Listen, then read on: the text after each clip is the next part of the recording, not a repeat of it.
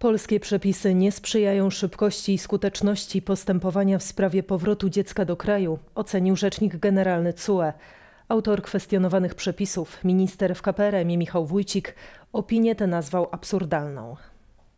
Sąd apelacyjny w Warszawie zwrócił się do TSUE z pytaniem prejudycjalnym, czy obowiązujące w Polsce przepisy nie naruszają prawa wspólnotowego. Chodzi o wstrzymanie przez Rzecznika Praw Dziecka i Prokuratora Generalnego wykonania postanowień sądów pierwszej i drugiej instancji zarządzających powrotu dzieci do kraju.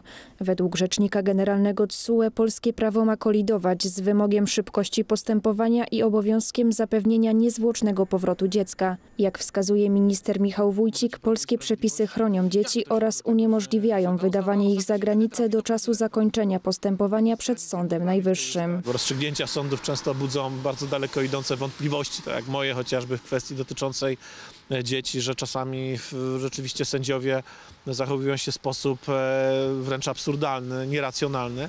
Opinia Rzecznika Generalnego jest wstępem do wyroku. TSUE może się z nią zgodzić lub wydać inny wyrok.